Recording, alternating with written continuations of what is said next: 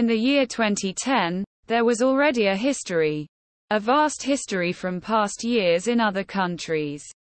Namely the USA and Canada, of my father making phone calls to my university supervisors, apartment managers, housemates, student union health professionals, the university registrar, and even local government.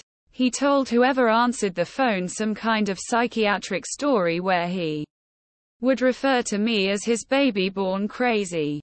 My parents used legal terms to reflect their high status and emotive love expressions that would make the modern British female swoon. My parents took religious oaths that were beyond the comprehension of everyone. In the older system, if they made 100 calls at least one would be successful. In the modern system, more than 50% of the calls would be successful. My father used cunning to choose his audience carefully. He chose a female migrant audience. They were not doctors or lawyers.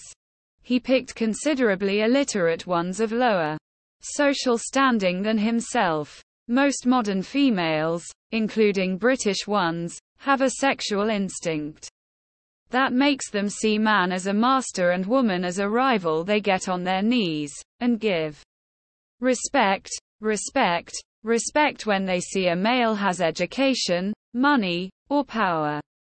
It gives them great satisfaction sexually and emotionally and makes them able to orgasm in their private lives when they climb the ladder with men and such officials.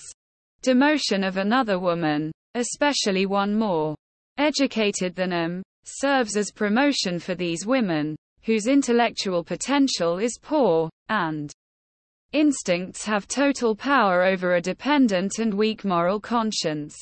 It is healthful for most modern women when they hear my father cry me down to them, calling me a psychiatric baby and whatnot.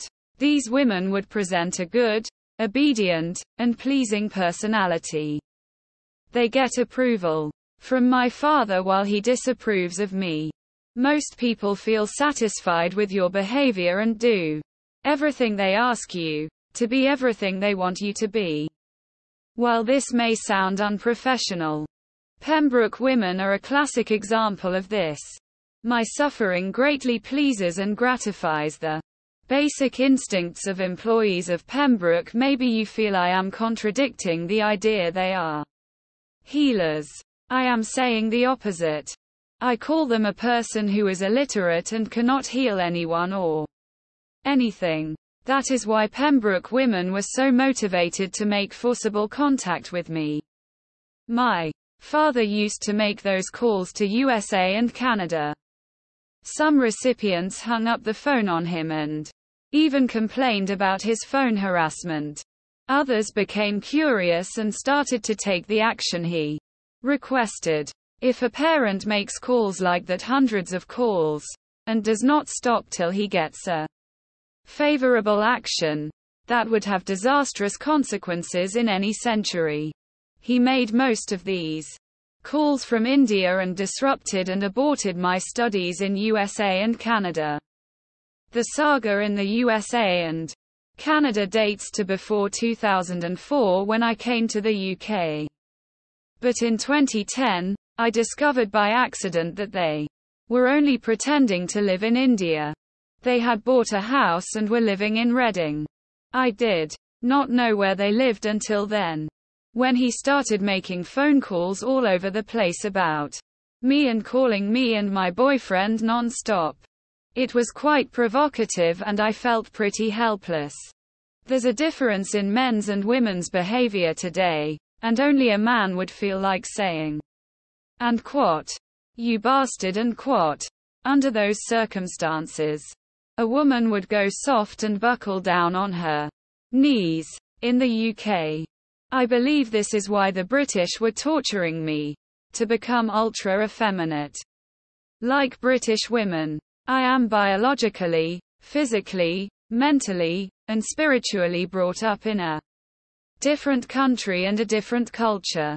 I'm not likely to be super effeminate and unable to compete with British females in levels of fear. I was punished by the police because when British people are provoked as I was, only the males get angry. They like to severely punish me, who as a foreigner had an ego level that in their country is only found in men. Some Europeans feel that Britain is lacking in gender equality compared to their own country.